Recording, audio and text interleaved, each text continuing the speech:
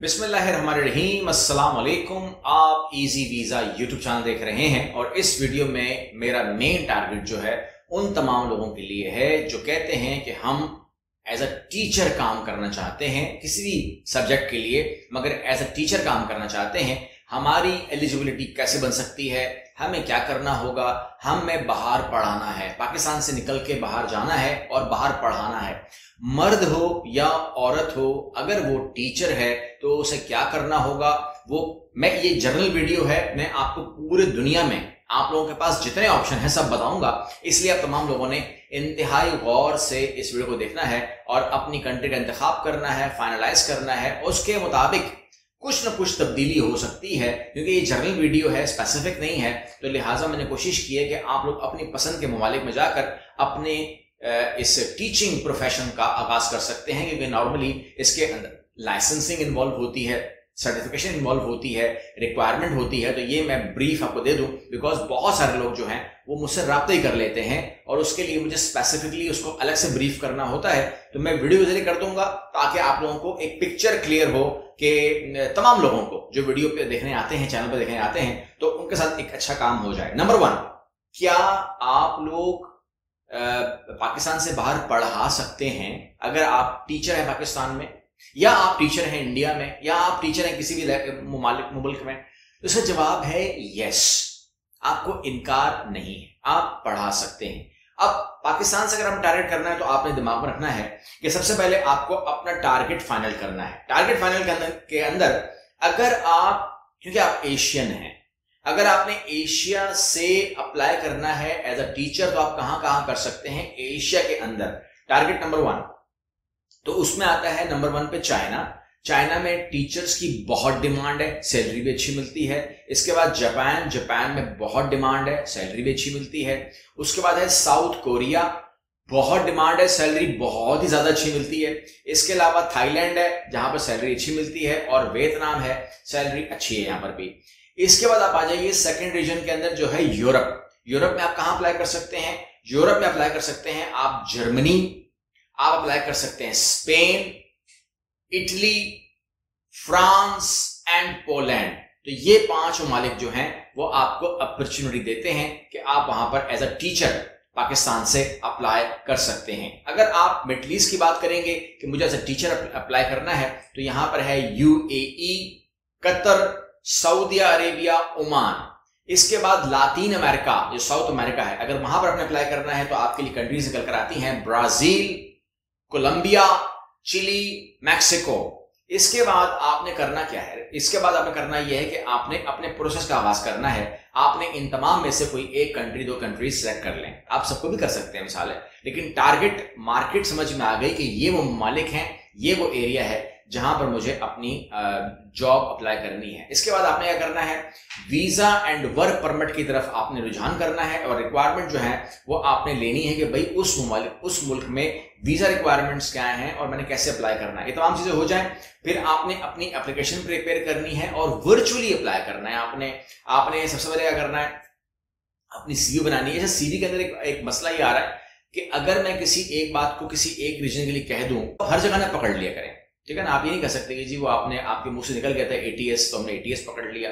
या आपने कहा था यूरो पास तो यूरो पास पकड़ लिया, या हमने, आपने कहा था फिलाम फिलाम पकड़ लिया। ये काम नहीं करना आपने। इसके अंदर आपने करना ये है कि आपने जो जो रीजन है, उसके मुताबिक आपने काम करना है। अब यूएई के लिए, कतर के लिए, चिली के लिए, ब्राज़ील के लिए, यूरोप के लिए, चाइना के लिए थोड़ा सा फ़र्क होगा। उस फ़र्क को दिमाग में रखना है और हमारी टीम जो है उस फ़र्क को हाथ में रखती है। ठीक है ना? अच्छा अब आ जाइए, इसके अंदर जो ज़रूरी चीज़ें हैं वो ये है कि आपको क्या करना पड़ता है इजाफी कि आप वो मॉलिक पढ़ा सकते हैं। सबसे पहले दो दो सर्टिफिकेशन है, जिसके अंदर टी ई एफ़ एल है, ठीक है? और या फिर T E S O L है for teaching English as a T E F L T E O S L certification is often required तो ये दो सर्टिफिकेट्स होते हैं, जो आपको रिक्वायर होते हैं, इसको आप कह सकते हैं कि ये this is you of you can say license to teach in that countries तो ये आपसे वो मांग सकते हैं, बल्कि मांगेंगे। आप ये दिमाग में रख लिए मांगेंगे आपसे, ठीक है ना? बहुत सारे ममालिक नहीं मांगेंगे ना। मैंने आपसे कहा ना, सबकी सबके लिए एक बात नहीं होती है। क्या पता यूएई में ना मांगे, कतर में ना मांगे, सऊदी में ना मांगे, ओमान में ना मांगे, ठीक है? जहाँ मांगेंगे, वहाँ कह रहा हूँ आपको। उसके बाद आपके जो डॉक्यूमेंट्स हैं, उसकी इक्वलेंसी देखनी पड़ती है। आप जब कहते हैं ना पीएचडी हूँ मैं मास्टर्स हूँ। तो कंट्री कह सकती है कि मुझे आपकी इक्वलेंसी चेक करनी है in my country if you are if you are PhD if you are masters तो हो सकता है कि मास्टर्स की रिक्वायरमेंट मांगी गई हो और आप मास्टर्स पाकिस्तान में हो, लेकिन हो सकता है कि आप उस मुल्क में मास्टर्स काउंट ना होते हो तो आपसे इक्वलेंसी मांगी जा सकती है दिमाग में रखें। ठीक है, उसके बाद है job search platforms job search platform के अंदर आपको ये प्लेटफॉर्म दिए जा रहे हैं, यहाँ पर टीईएस है टेक अवे है and international school review in list job opening है. इसके अलावा आप और uh, जो बाकी जो रिक्रूटमेंट एजेंसीज हैं उसके अंदर भी जो एजुकेशन साइड है वो दी जा रही हैं. इसके अलावा एप्लीकेशन डॉक्यूमेंट्स के अंदर आपको जो लगाना है आपको मैंने बता दिया कि आपकी एक प्रॉपर सीवी होनी चाहिए कवर लेटर होना चाहिए. इसके अलावा आपके पास डॉक्यूमेंट आपने सबमिट करवाने हैं reference obtain strong letter of recommendation from previous employers और कोलीग्स रेफरेंस लेटर होना चाहिए इंटरव्यू एंड कॉन्टेक्ट इसके अलावा आपका जो इंटरव्यू है, उसके लिए आपको इंटरव्यू देना है। इसके अलावा एडिशनल एडिशनल जो चीज़ें हैं, वो आपकी लैंग्वेज आपको जिस कंट्री में आप जा रहे हैं, उसकी बेसिक्स आपको आनी चाहिए। अगर आप जर्मन जा रहे हैं तो जर्मन लैंग्वेज फ्रांस जा रहे हैं फ्रेंच या आप कोई भी हो तो आपको बेसिक्स उसकी पता नहीं चाहिए। आपकी सेहत के बारे में सर्टिफिकेशन आपके पास आनी चाहिए। वैक्सीनेशन आपकी कंप्लीट हो फाइनेंशियल आपकी कॉस्ट ऑफ़ लिविंग जो है, उसके ऊपर आपका टारगेट होना चाहिए कि भाई हाँ मैं जा रही हूँ, मेरी सैलरी ये होगी तो मेरा खर्चा क्या होगा? उसकी रिसर्च करना बहुत ज़रूरी है, या हम उसके ऊपर बात कर सकते हैं रिसर्च कह लीजिए, या हमसे मीटिंग करने कह लीजिए, और इसके अलावा वो तमाम जो चीज़ें आपको ज़रूरत है, उसमें आपकी डॉक्यूमेंट्स उनकी अटेस्टेशन वो तमाम चीज़ें चाहिए। जब आपके पास तमाम चीज़ें होंगी तो उसमें आप, इसको अगर आप खुद कर रहे हैं तो आपके पास जो स्पेसिफिक जगहें होंगी, जो मैं आपको नीचे दे दूँगा कमेंट बॉक्स के अंदर भी और डिस्क्रिप्शन बॉक्स के अंदर भी। वहाँ से ले करके आप उस पर वर्किंग करके अप्लाई करके अपने लिए, अगर आप यूरोप में अप्लाई कर रहे हैं तो यूरोप बेस्ड सीवी चाहिए। अगर आप नॉर्थ अमेरिका में जा रहे हैं तो नॉर्थ अमेरिकन सीवी चाहिए।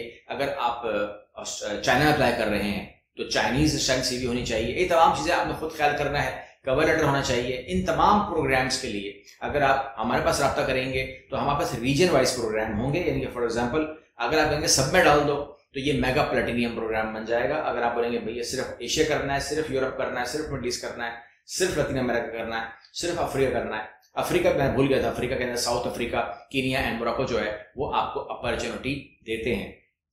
तो गुजारिश ये है कि अगर आप टीचिंग में हैं तो हम लोग जो अक्सर औकात आप कहते हैं कि जी तमाम चीज़ें मैं पूरी नहीं करूँगा तो फिर भी अप्लाई करूँगा तो फिर आप एडमिन में आएँगे, फिर आप सपोर्ट में आएँगे, फिर आप केयर गिवर्स में आएँगे, फिर आप जो डे स्कूल्स होते हैं, उसमें आप आएँगे अडल्ट केयर्स में आएँगे, फिर आप उसमें आएँगे, फिर आप इसमें तो नहीं आ सकते। अगर आपको टीचिंग करनी है तो तो उसके लिए जो ये वीडियो है ना, मैंने कोशिश की कि मैं आपको बुलेट पॉइंट बता दूँ, और मैं कोशिश करूँगा कि मैं इसकी जो मालूम है मैक्सिमम मालूम जो मैं बोल रहा हूँ तो ये तमाम का तमाम जो स्क्रिप्ट है, ये डिस्क्रिप्शन बॉक्स में आ जाए, ताकि अगर कोई जल्दी हुई है बोलने में तो आप उसको रिसर्च कर लें। तो आप कह सकते हैं फॉर एग्ज़ाम्पल आपका सवाल आ सकता है, एक खास सवाल आ सकता है कि टी ई एफ़ एल को ब्रीफ कर दें, या T E S O L को ब्रीफ कर दें तो उसके लिए गुजारिश ये है कि आप इसको कॉपी कीजिए और उसको आप गूगल में लाके, ले जाके खूब पढ़िए कि ये सर्टिफिकेट कैसे मिलता है, कितना फ़ीस है इसकी और कब मिलेगा, मैं ऑनलाइन अप्लाई करना है, मैंने कैसे अप्लाई करना है, पाकिस्तान में कैसे होगा,